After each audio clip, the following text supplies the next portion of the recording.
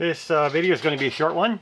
Um, it's basically figuring out gear ratios. If you've got a four-wheel drive and you replace the front or the rear diff, you got to make sure you know what the gear ratio is so you can match the uh, the other end. Or if you're looking in a junkyard and you're just wanting a particular ratio. This is a Jeep Cherokee and um, I have no idea what the ratio is, but uh, we're going to find out. We've got to do a little bit of research first on the internet and you'll find uh, what ratios it could be. So we got 307, 331, 355, 373, 410, or 456. So it's going to be most likely one of those. Now, the 100% way of knowing exactly what it is is to take the cover off and count teeth. Take a marker, a chalk, and mark the tooth, spin the gears, and count, and then do your math. Divide the large number of teeth, the ring gear, by the small number of teeth, the pinion.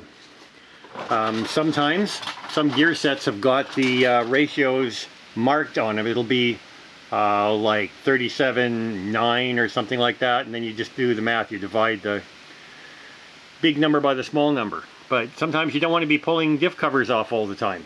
Now another way is uh, on, on GMs and some Fords you can find, uh, well GM calls it an RPO, I don't know what uh, Ford calls it, but it, Ford's on a door jamb and there'll be a code number there and uh, GM has got uh, codes, if you look in the glove box, if the sticker is still there, then uh, you know it'll say something like G42 or GU8 or something like that.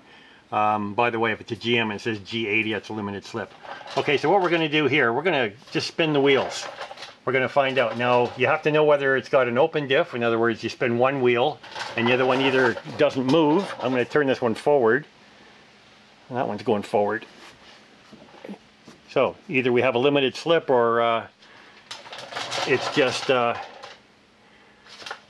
it's just a little bit tight in the differential, but uh, it could be a limited slip, we don't know. Uh, if it is a limited slip, then there's no problem as long as both wheels turn the same speed as far as doing the, the math calculation here. If uh, one wheel spins forward and one goes backwards, you have to grab them with your arms and uh, spin them both at the same time. And I put paint marks up here by the leaf spring on both sides. And I put a paint mark down here on the uh, pinion yoke on the U-joint here. And I'm going to put the camera on the tripod and you're going to watch that pinion turn and I'm going to spin the uh, these wheels around one full revolution and this will turn uh, several times faster. So I'm going to put you on the tripod now. Okay, I'm going to start spinning the wheels now. I'm going to make sure that they both turn one complete revolution. Yeah, it feels like a limited slip. Both wheels are turning the same amount. I hope you're counting. I'm not counting. Okay, I'm going to spin both wheels in the same direction and uh, you're going to count the number of times this goes around and uh, it won't be a, a complete full uh, number of turns. It'll be a partial, so it may turn over like three and then a three and a half or a quarter or whatever. And that's important that we note that. Okay, so you're going to watch and count and I'm going to spin these wheels here. There's half. There's one. One and a half. There's two. Two and a half. Okay, now we got to watch because I'm coming up to the paint marks on the leaf spring. There's three, so now it's going to be a three something rear end. So we watch careful, there's 325. That's because that's a quarter turn.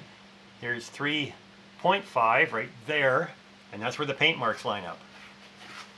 So it's going to be the closest ratio to a 3.5. So again, we refer to what we found on the internet, and we've got a 355. So that's a 355 ratio because it's turned three and a half turns. It's at the top there. So if it was a 456 ratio, it would turn four, four times and end up in the same spot there. four, four times, four and a half. So uh, that's one way of doing it. And uh, it's probably the most common way to do it. Just make sure both wheels turn.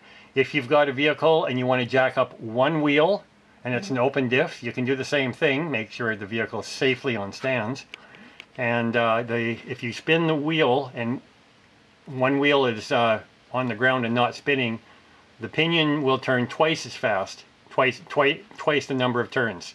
So if this was a 355 ratio, it would turn uh, about seven times. Okay, so you got to divide that number by half. So that's it. Good luck.